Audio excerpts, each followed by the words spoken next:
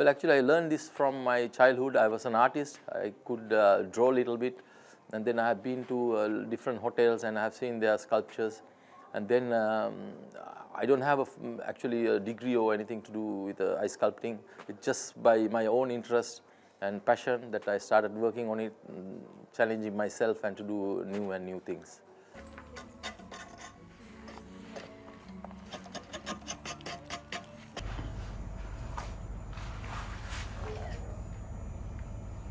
Other thing is uh, most uh, interesting is most of the customers they really love it because it's you know this is Middle East and we are doing ice sculptures in the middle of uh, desert.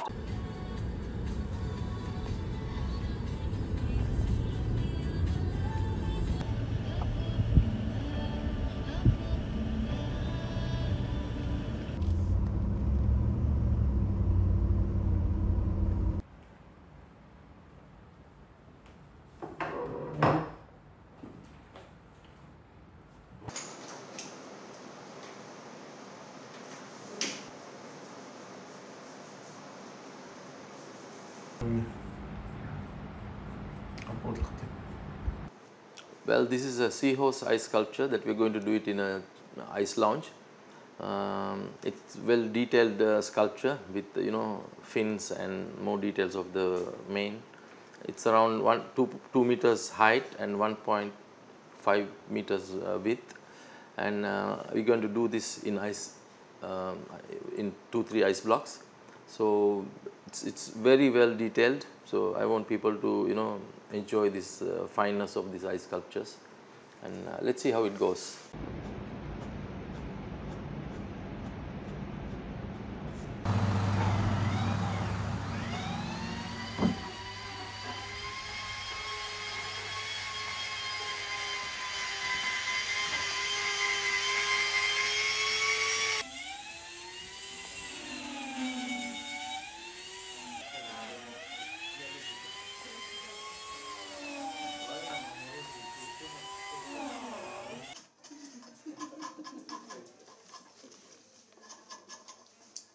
You see this uh, unique talent being on display. Um, he's making, a, I think, a, a, horse right now, but we've seen other sculptures that he's done. Uh, I think it's now almost negative six degrees Celsius in the chill out lounge, and when you step outside, it's almost 45 degrees Celsius, so quite the change in temperature, and you will not see this anywhere else really.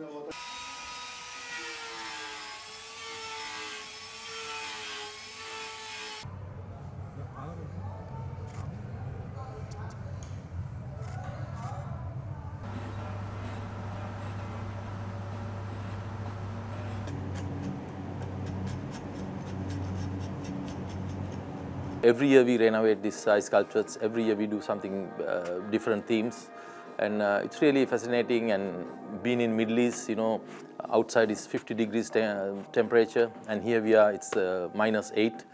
so that's one of the challenging jobs, extreme to extreme. So we are really enjoying it.